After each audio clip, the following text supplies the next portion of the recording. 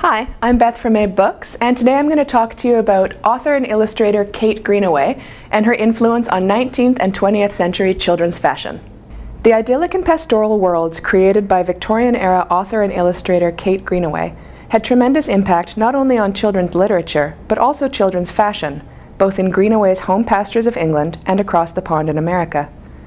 When exploring Greenaway's art, it's impossible not to notice both how carefree, content, and happy the children she created were, and the exquisite detail she paid to their clothes.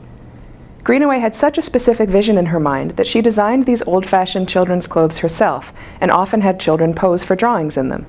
Smocked dresses and frocks, bonnets and straw hats, loose muslin dresses and more.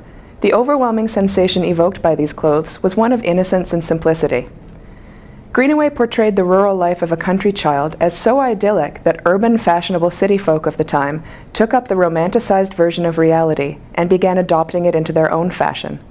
The aesthetic of dressing little girls in a manner harkening back to the more simple days of their grandmothers became so popular that a prominent English department store, Liberty's of London, developed a clothing line directly inspired by Greenaway's art, and mothers and fathers alike delighted in the return to old-fashioned, hyper-modest dress.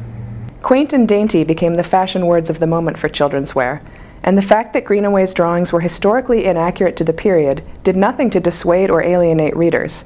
On the contrary, they pronounced her outdated creations charming, and the strange fashion choices seemed to increase the appeal of her stories for many audiences.